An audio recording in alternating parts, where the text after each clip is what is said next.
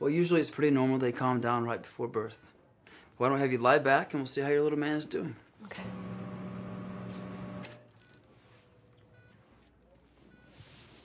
yeah, my mum was right. Don't tattoo your stomach, she said. I have a few. My mom hates them as well. Wow. Look at you, Dr. Ink. Let's see how your mellow man is doing. Honey, I'm really sorry about Alan. Are you going to be okay? Nothing lasts forever, as they say. But I picked up an extra job to pay for expenses. So. Work? Honey, you're supposed to be taking care of yourself. Well, I am. I just like being busy. Hmm.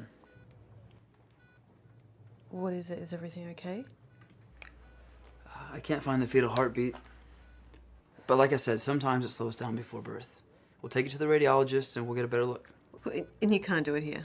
Normally, yes, but our machine's out for repairs. Honey, it'll be okay. I'll take you over there, all right?